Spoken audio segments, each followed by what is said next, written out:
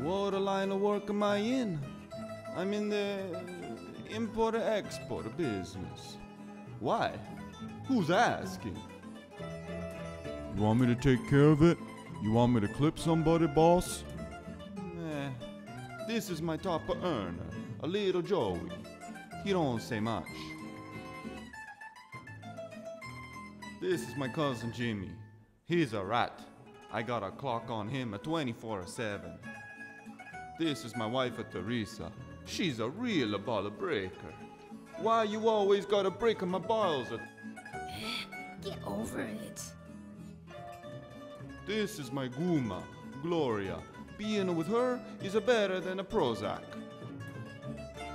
What? What are you looking at? This is my uncle Vito. He's my consigliere. I come to him for advice. Unfortunately, he's doing a life in a federal prison right now. Eh,